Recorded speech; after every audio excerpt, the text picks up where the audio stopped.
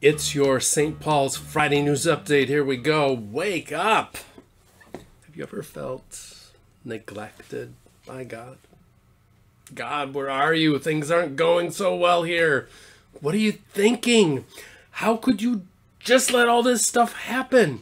You've done great things before, so how come you're not doing it now? There's devastation everywhere, violence and hate. People are dying, people are sick. Every one of those sick or dying people is the child of someone who's inconsolable. What is wrong with you? Could you look over here? Could you do something at all about this? Save us! Come on, God, wake up! Have you ever prayed a prayer like that?